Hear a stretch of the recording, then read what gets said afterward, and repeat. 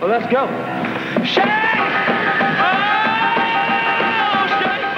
He was the rebel with a cause, and his cause was rock and roll.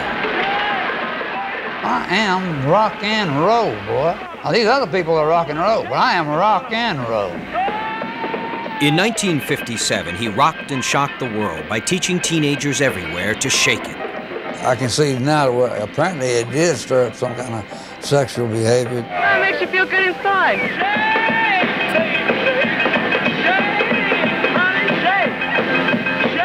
But what Jerry Lee Lewis was really shaking was nothing less than the foundations of musical history. Jerry Lee Lewis is one of the founding fathers of rock and roll. And let's just face it, the, the cat is a music genius. But less than a year after his sensational breakthrough, Jerry Lee Lewis's meteoric career was on the skids when the world learned of his marriage to his 13 year old second cousin.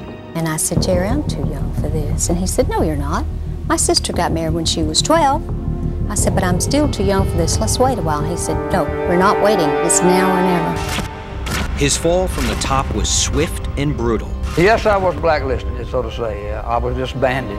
I've apologized to him over and over again for, uh, you know, caving along with the rest of the cowards.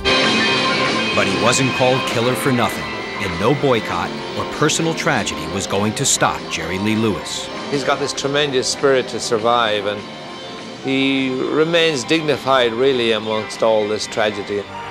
Tonight on Behind the Music, Jerry Lee Lewis looks back on a rock and roll lifetime, from Great Balls of Fire to Middle Age Crazy. I was really doing some crazy things. And I, I was running wild. I, I thought I was having a good time, but apparently I wasn't having quite a good time I thought I was having.